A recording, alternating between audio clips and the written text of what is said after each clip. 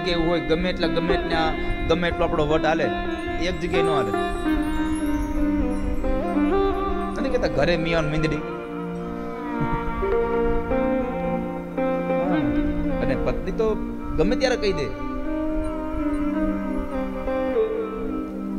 તમારા ભાઈને ક્યાં કઈ ખબર જ પડે છે.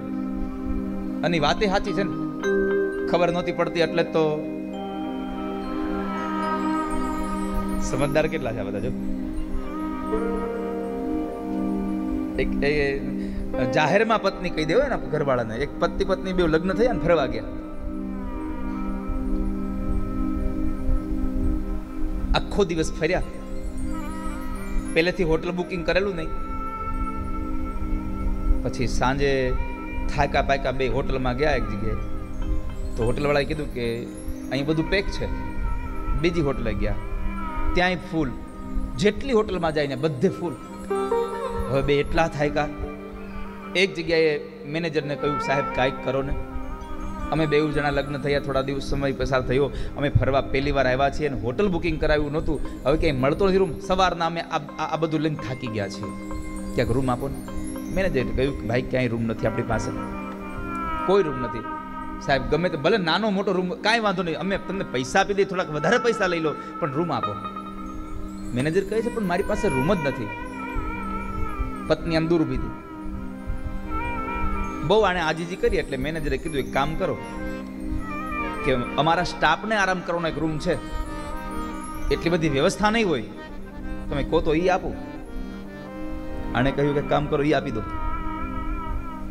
મેનેજરે કીધું એ આપી દો, પણ તમે પતિ પત્ની છો, એની ખાતરી શું? સર્ટિફિકેટ લાવો.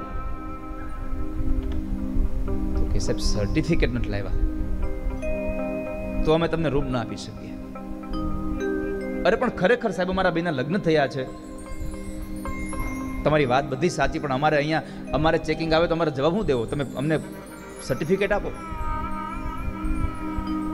તો માણસ નારાજ થયો, પાછો આવ્યો. પત્ની પછી, શું થયું? તો કહે છે કે, રૂમ તો ક્યાંય છે નહીં, પણ આ મેનેજરે એવું કહ્યું કે, આપણે ત્યાં અમારા જે બધો સ્ટાફ છે, એનો એક રૂમ છે, નાનો એવો બહુ બધી સુવિધા નથી, પણ તમારે રાત્રિ રોકાણ થઈ જાય એવું બધું છે. તો કે હાલો, એમાં વાંધો નહીં, આપણે ત્યાં, આપણે તો સવારે આરામ કરી નીકળી જવું છે. કાલે બીજી ક્યાંક હોટલમાં રાખી લેશું. પણ એ કહે છે કે વાત બરાબર છે, પણ એમ કહે છે કે તમે પતિ પત્ની છો, એની ખાતરી માટે તમે સર્ટિફિકેટ આપો. તો કે પણ આપી દો ને, તો કે સર્ટિફિકેટ હું ઘરે મૂકીને આવ્યો છું. અને પત્ની બગડ્યા. તમને કેટલી વાર કીધું છે કે આપણા બધા કાગળિયાઓ ભેગા લઈને જવું જોઈએ, તમે આમ છે ને તેમ છે ને એટલો જોર જોરથી એને ખીજાવા લાગી, ઓલો મેનેજર આવ્યો, તમને હાલો રૂમ આપી દઉં.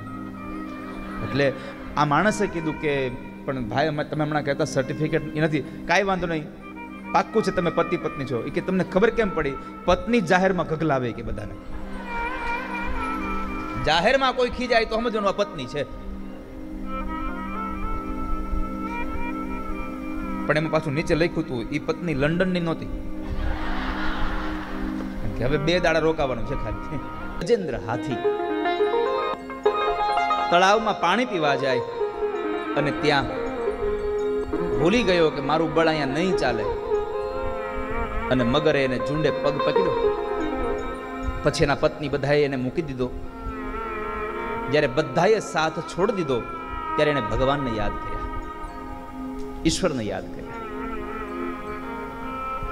પ્રભુને યાદ કરે છે. આ દુનિયાનો નિયમ છે, જ્યારે કોઈ આપણે હારે ન આવે ને ત્યારે આપણે ભગવાનને કહીએ, હે ભગવાન, હવે તમે કંઈક કરો. તમે પ્રભુ કંઈક કરો. આ હાથીને પણ એવું થયું હતું કે પરમાત્માને ભજ્યા, ભગવાનને યાદ કર્યા. જ્યારે પોતાનામાં બળ હતું ત્યારે સુધીને ભગવાનને ન યાદ કર્યા. પણ જ્યારે આંખ, કાન આ બધું ડૂબી ગયું, એક ખાલી નાક બાકી રહ્યું, સૂંઢ ડૂબવાની બાકી હતી, ત્યારે પરમાત્માને યાદ કર્યા. नाक कान डूबन लगे कृष्ण को पुकारे। नाक कान डूबन लगे कृष्ण को पुकारे। द्वारिका में शब्द गयो शोर भयो